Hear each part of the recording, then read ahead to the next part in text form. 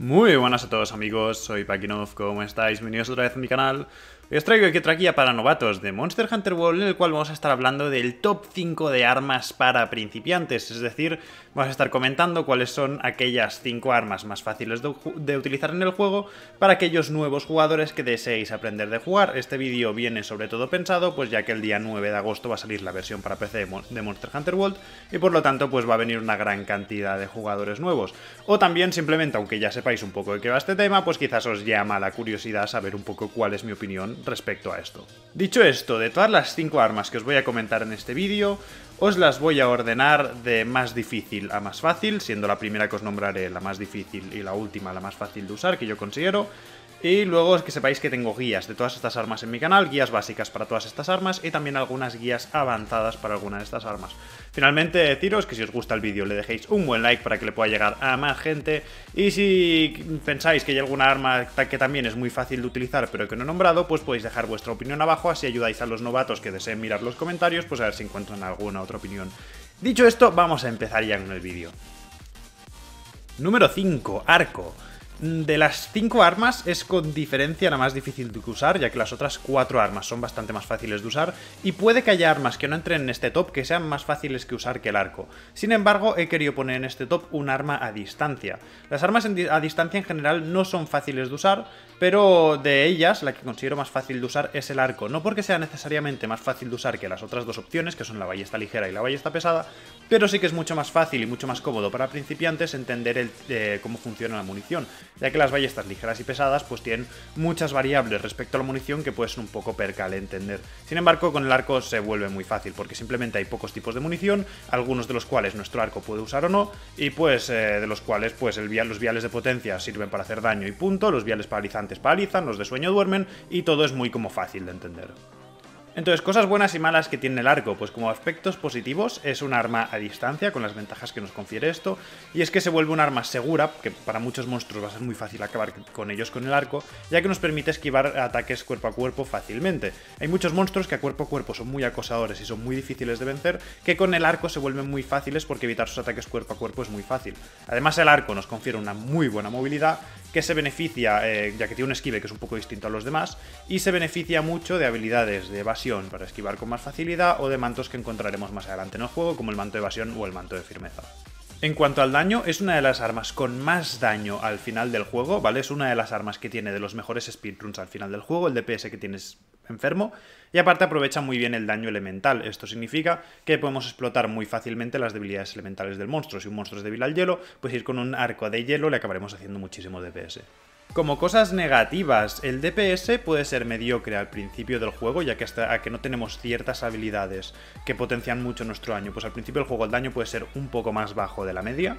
Aparte, utilizarlo a un, nivel eficiente nos consume mucha resistencia, con lo cual hay que estar muy atentos, hay que estar atentos a la resistencia, cosa que lo puede volver un poco complicado, y hay que saber cuándo estar acosando y atacando y cuándo descansar para simplemente regenerar la resistencia. Y finalmente otro punto negativo es que, bueno, pues tenéis que comprar o fabricaros munición, que sepáis que toda la munición la podéis comprar en tienda, y pues os podéis gastar algo de dinero en eso, aunque ya os digo, es muy barata, pero bueno, tenéis que estar pendientes del tema de la munición. Número 4. Espadas dobles. Estas armas eh, pueden ser las armas más seguras de utilizar todo el juego, por dos motivos. El primero es que tienen mucha movilidad y es muy fácil esquivar los ataques de la gran movilidad que tenemos.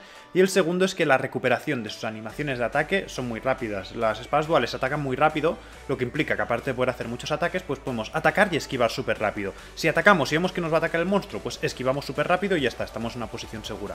Y con la buena movilidad que tienen, pues nos permite esquivar, digamos, con mucha seguridad. Aparte de eso, también tiene ataques con mucha movilidad, tipo por ejemplo el, círculo, el ataque de círculo cuando estamos en modo demoníaco que hacemos con un spin de ataques, ¿no? Con lo cual, si esquivamos el ataque que nos va a hacer, le estamos atacando, vemos que nos va a atacar, esquivamos súper rápido gracias a la buena recuperación de los ataques, nos podemos volver a meter contra el monstruo con una redonda y volvemos a estar encima suyo. Lo que nos implica que podemos salir y entrar súper rápido, podemos estar acosando continuamente al monstruo con nuestros ataques rápidos. Las armas pesadas, por ejemplo, tenemos que encontrar buenas aperturas para atacar al monstruo y predecir esto puede ser difícil sin embargo, con espadas duales es muy fácil, porque aunque el monstruo esté en una sarta de ataques, en uno de sus combos de ataques, podemos atacarle entre medio y salir, atacarle entre medio y salir. Y cuando deje de hacer sus combos de ataques, le podemos acosar y atacar muchísimo. Con lo cual se convierte en unas armas realmente muy sencillas de usar, sobre todo por este motivo. El daño de sus ataques individuales no es muy bueno, pero podemos hacerle tantos ataques continuamente que el DPS que acaban teniendo acaba siendo muy alto. Y además atacan tantas veces, las armas rápidas o que atacan muchas veces, tipo espadas duales o arco, por ejemplo, aprovechan muy bien el daño elemental, con lo que es muy fácil aprovechar las debilidades elementales del monstruo.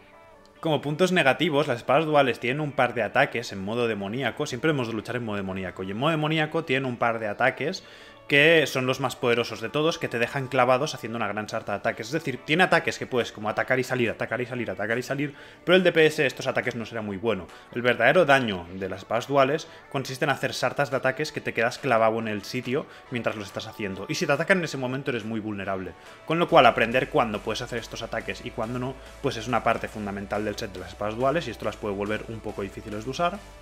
Además, combinado con que el modo demoníaco consume muchísima resistencia, o sea, nos agota mucho la resistencia siempre que estamos en modo demoníaco, con lo cual pues tenemos que estar muy pendientes de nuestra resistencia, porque si estamos en modo demoníaco, se nos acaba la resistencia porque no nos hemos enterado y nos ataca el monstruo, como estamos en resistencia no vamos a poder esquivar y nos va a golpear. Así que son unas armas que siempre, igual muy parecido con lo que pasa con el arco, vamos a tener siempre problemas de resistencia. Número 3, martillo, el único arma pesada del juego que vamos a nombrar en esta lista. Las armas pesadas por lo general son mucho más difíciles de usar que las armas ligeras, porque te obliga a conocerte al monstruo y eh, conocértelo bien y saber cuándo deja aperturas para meterle tus lentos ataques pero de mucho daño. Sin embargo, el martillo tiene ataques de mucho daño, pero tiene mucha más movilidad y sus ataques son más rápidos en general que el resto de armas. Como puntos positivos, pues lo que vamos a nombrar es que al ser un arma pesada tiene muchísimo daño, puedes llegar a hacer un daño brutal con este arma, aparte del hecho de que sus ataques pueden ser relativamente rápidos, o sea, tiene ataques lentos y que te requieren mucha preparación, pero también tiene algunos ataques rápidos, con lo cual pues tiene esta polivalencia. Aparte de eso, tiene una buena movilidad porque sus esquives son buenos, son los esquives de rodar normales, y mientras tienes el martillo te puedes mover a una velocidad normal, y no solo eso, sino que algunos de tus ataques cargados puedes cargar el martillo mientras te mueves, cosa que es muy única de este arma, ya que puedes cargar tus ataques pesados mientras te vas moviendo, esquivas al monstruo y justo en ese momento te deja la, apertura y le metes el ataque y se lo comerá seguro. Y finalmente provoca aturdimiento, con lo cual pues podemos aturdir al monstruo con relativa facilidad, sobre todo si le golpeamos en la cabeza, ya que el daño aturdido eh, se vuelve muy poderoso cuando golpeamos la cabeza de los enemigos, nos permite tumbarlos con más facilidad. Realmente el martillo es una gran arma y es de las mejores armas del juego y va bien durante todo el juego, ya sea tanto al principio como al final del juego es un arma genial. Eh, uno de sus aspectos malos es que sus combos de más daño, por ejemplo el combo de círculos, que es el combo Big Bang que se le llama, requiere mucho rato para ejecutarlo bien. Con lo cual eh, son combos que algunos de estos combos solo se usan cuando el monstruo lo tenemos aturdido. Por suerte con el martillo pues es relativamente fácil aturdir a los monstruos y golpeamos en la cabeza. Otro problema además puede ser que el martillo tiene corto alcance, lo que implica que si nos enfrentamos a un monstruo, por ejemplo, que es muy alto, tipo un Anjanath, pues nos puede resultar complicado golpearle en la cabeza para aturdirlo, ya que golpear en la cabeza con el martillo es fundamental. Número 2, la lanza. La lanza es una arma que sacrifica muchísima movilidad, ya que tenemos muy poca movilidad, y también sacrifica un poco de daño, ya que el daño es un poco mediocre, a cambio de tener un escudo buenísimo. Es la mejor arma defensiva de todo el juego porque tiene el mejor escudo de todo el juego, junto a la lanza pistola, eh, por ejemplo. Eh, sin embargo, es el único arma que nos permite atacar a la vez que defendemos, con lo cual pues podemos estar haciendo contraataques continuamente y atacar al monstruo de una manera muy segura. Diría que es el arma más fácil de utilizar de todo el juego, pero no la voy a poner en número 1 por un motivo que os contaré cuando os hable de la siguiente arma que será la número 1. Como puntos positivos, pues es muy fácil de usar, probablemente el arma más fácil de utilizar de todo el juego. Aparte tenemos el mejor escudo del juego, que nos protege de la mayoría de ataques y consumimos poca resistencia al bloquear. Y no solo eso, sino que podemos hacer contraataques, o sea, tenemos una especie de ataques que podemos bloquear y si bloqueamos bien, pues justo contraatacamos. Pero es que el tiempo para hacer estos bloqueos es muy fácil, o sea, es muy fácil conseguir estos contraataques, es parte del kit y es muy fácil realmente. Aparte, es un arma que podemos acosar mucho a monstruos de estos que nos están continuamente encima en el juego, ya que los monstruos estos que nos quedan encima, que siempre nos hacen ataques y tal, pues podemos bloquear sus ataques y contraatacar, bloquear el ataque contraatacar, que se nos vienen estos típicos monstruos que con otras armas pueden ser muy difíciles porque los tenemos continuamente encima y no nos dejan ni respirar, pues con la lanza pasan a ser muy fáciles porque pasas a beneficiarte de que estén encima tuyo continuamente, porque la lanza tiene poca movilidad, si es un monstruo de mucha movilidad, pues perseguirlo puede ser complicado, pero si siempre lo tienes encima al monstruo, es muy fácil irla atacando y cuando ataca, bloquear y contraatacar, bloquear y contraatacar. lo que acaba haciendo que muchos de los monstruos más difíciles del juego acaben siendo más fáciles con la lanza, en serio, hay muchísimos monstruos en este juego que son muy duros que con la lanza se vuelven un paseo. Como puntos negativos es que tiene un daño bastante mediocre, no es que tenga los mejores daños del juego, sí que si le metemos un daño continuado pues podemos hacer un buen daño, pero tiene un daño bajo en general. Aparte tenemos muy poca movilidad, con lo que monstruos que no estén encima nuestro continuamente puede ser complicado acabar con ellos. Y aparte de eso tiene un desenfunde, eh, tiene, un enfunde muy lento. Si tú estás con el arma y de repente te golpean y te tiran al suelo y te has quedado con muy poca vida, si quieres guardarte la lanza para tomarte una poción, tardas muchísimo en enfundarla. Es de las armas más mm, lentas de enfundarse en todo el juego. Con lo cual pues ahí nos podemos encontrar en situaciones de vulnerabilidad. Número 1, y aquí viene mi arma favorita, la espada larga, y no la pongo en el número 1 porque sea mi arma favorita, ¿vale? La pongo porque realmente creo que es la mejor arma por utilizar para principiantes. ¿Por qué? Pues a pesar de que considero que la lanza puede ser más noob friendly y más fácil de usar, la espada larga considero que es el arma más polivalente del juego. Es decir, no es especialista en nada, no es que haga nada genial, pero lo hace todo bastante bien. Tiene una buena velocidad, tiene un buen esquive, tiene un buen alcance, tiene un buen daño y en general esta polivalencia permite que nos vaya bien contra cualquier monstruo. Si nos encontramos un monstruo ágil que se mueve mucho, la espada larga irá bien. Si nos encontramos un monstruo lento que hace ataques pesados, el arma, eh, la espada larga nos irá bien. Si nos encontramos a un monstruo volador, la espada larga nos irá bien. Con lo cual es una gran arma para especializarse únicamente en ella, ya que la podemos utilizar contra cualquier monstruo. ¿Qué cosas positivas y negativas tiene? Pues como cosas positivas, pues lo que os he dicho, que es un arma muy equilibrada, con un buen daño. Tenemos un buen alcance con esta arma, además tenemos un buen alcance vertical, lo que nos implica golpear a monstruos voladores fácilmente. Tenemos una buena velocidad de ataque, con además una buena recuperación de nuestros ataques y un buen esquive, lo que nos permite atacar y esquivar. ¿Que el monstruo nos ataca? Pues entre sus ataques le atacamos y esquivamos, atacamos y esquivamos. ¿Que nos deja apertura? Pues le metemos nuestro combo de ataques. Con lo cual pues es un arma muy segura ya que tiene una recuperación rápida de los ataques y buena movilidad.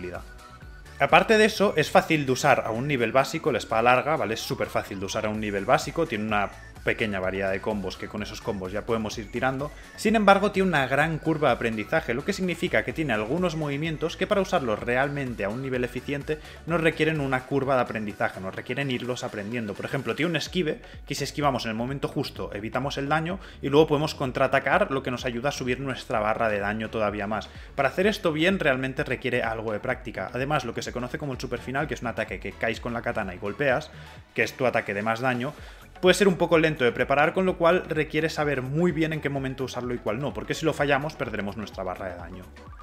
Entonces, esto a la vez es un punto positivo y un punto de negativo, ¿vale? Porque ¿cuáles son los puntos negativos de la espada larga? Pues que utilizar bien, utilizarla a un nivel eficiente, puede ser un poco complicado, requiere aprendizaje, y a la vez, eh, si no sabemos utilizar bien estos movimientos, a pesar de que podemos utilizar el arma y nos va bien, si no sabemos utilizar bien estas habilidades más complejas, el daño puede llegar a ser un poco mediocre.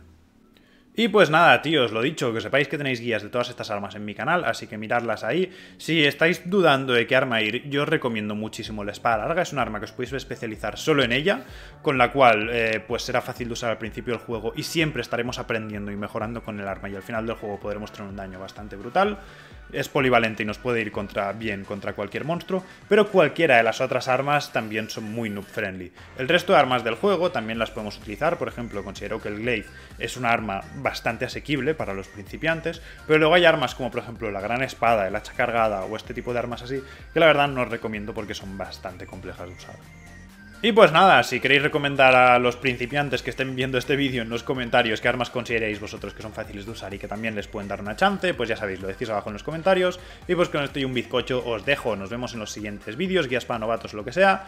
Tengáis un día de puta madre chicos, nos vemos pronto, un saludete y ¡hala! ¡Hasta luego!